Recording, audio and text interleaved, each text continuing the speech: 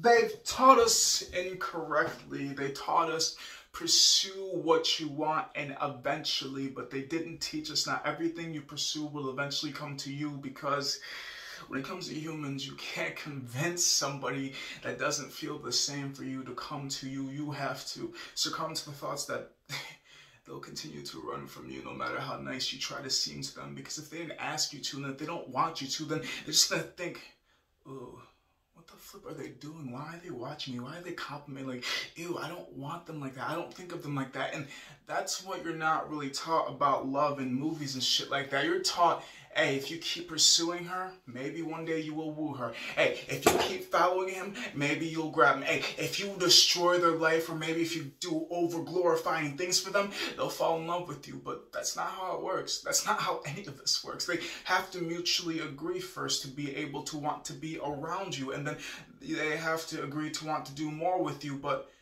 where does the line start and where does it end? Because somebody has to put a defining line between boyfriend and just boy, friend. So which one is it really? I'm just trying to figure out because sometimes girls be trying to have me looking silly and I'm just like, seriously, how you gonna be calling me a womanizer when y'all playing the games on me. I wanted something serious, but the chicks play tricks on me. I'm not always the bad guy, but shit, you could always put the blame on me. I'm used to it, so the bad guy, I guess I gotta be. And I'm just trying to figure out. if I'm such a womanizer, why, uh, then why is my heart broken more than it is fixed? And if I'm such a womanizer, then why do I barely have any chicks? If I'm such a womanizer, then why don't I have no booty or ass pics on my phone? Go ahead, I'll let you search to this shit. If I'm such a womanizer, then why am I always talking to one chick seriously and just casually to the others and not even really trying to hit them up anyway? So if I'm such a womanizer, Wait, wait, no, no, no. This is just the simple shit. Y'all just gonna call me whatever you want to, but you don't know me even if I tell you. So it's like, I could speak until there's no more air in my lungs. I could speak until the color leaves my body. I am the colored one.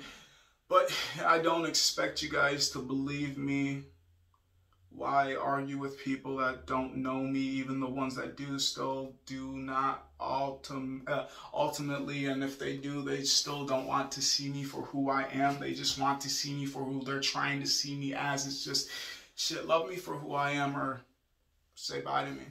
I'm not gonna fit nobody's image aside from mine because I'm sick and tired of the time that I spent from the time growing up to do this for people that don't even give me the single day of time. Like, what the flip? I just want to know what time of the day it was. I just wanted to see your smile. I just wanted to hug you. I just wanted to kiss you. I just wanted to love you.